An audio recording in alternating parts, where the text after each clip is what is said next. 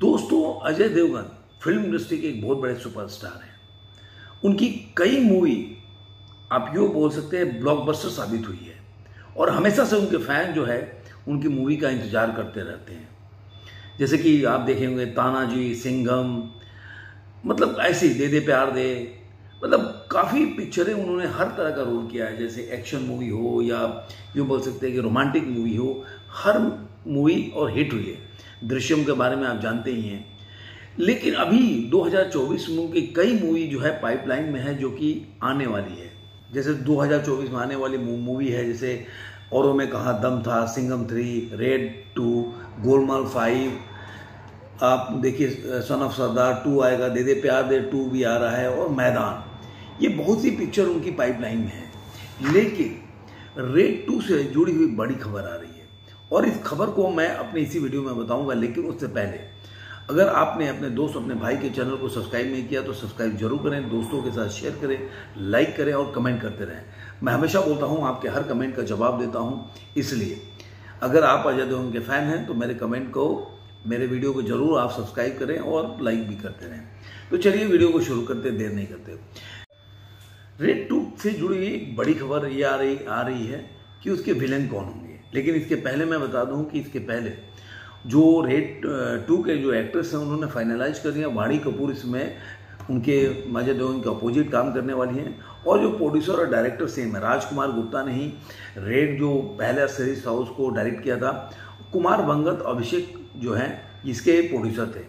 तो फ़िलहाल वही लोग प्रोड्यूसर डायरेक्ट कर रहे हैं, वही टीम है। लेकिन एक्टर और एक्ट्रेस अलग हो रहे हैं चेंज हो रहे हैं।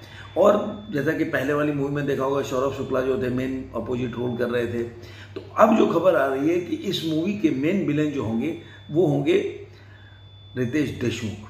हाँ जी दोस्तों, वो फ़िल्म इंडस्ट्री में पहले पॉजिटिव रोल करते रहे और हीरो के रोल में उन्होंने काफ़ी अच्छा रोल किया है पॉजिटिव कैरेक्टर्स में। लेकिन कभी भी उनका सोलो मूवी जो बोल सकते हैं ना solo as a hero movie उनकी मेरे को यह ध्यान में नहीं आ रहा है कि शायद आपको ध्यान में हो तो ज़रूर मेरे कमेंट बॉक्स में बताइएगा कि उनकी पिक्चर हिट रही हो। लेकिन एज ए विलेन में देखिएगा तो विलेन मूवी जो है निगेटिव कैरेक्टर में उनकी पिक्चर काफ़ी चली गई। उनको काम उनके काम को काफ़ी सराहा गया। तो रेड टू में अब वो अजय देवगन के अपोजिट में आ रहे हैं और जिसकी शूटिंग जो है, आपको मुंबई में, राजस्थान में, दिल्ली में और यूपी में, ये सारी जगह पे शूटिंग होने वाली है।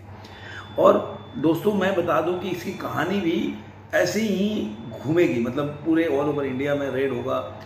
उसके ऊपर पूरा फोकस किया गया तो कहानी भी पूरे ऑल ओवर इंडिया का है, किसी एक जगह का नहीं है। और मूवी का जो रिलीजिंग डेट है, वो करीब करीब 15 नवंबर 2024 मतलब इसी साल के नवंबर महीने में मूवी सिनेमा थिएटर में लग जाएगी। लेकिन उसके पहले अजय देवगन की दो पिक्चर और आनी है। एक औरों में कहा दम था, जो कि अप्रैल में ही आ जाएगा 26 अप्रैल 2024 को इसका डेट है। इसके अपोजिट है पुनीत जो एक्ट्रेस हैं वो, और दूसरा जो है सिंगम थ्री। इसका भी डेट 15 अगस्त के पास है। करीना कपूर इसके अपोजिट में काम कर रही हैं। बाकी उनका बहुत लंबा फहरिस्त है अजय देवगन का। इस साल काफ़ी बिज़ी रहने वाले अजय देवगन। पिछले साल देखिएगा तो सलमान आप सलमान खान की एक पिक्चर आई थी। शाहरुख खान का डेट बोल सकते हैं कि उनकी तीन तीन पिक्चरें आई।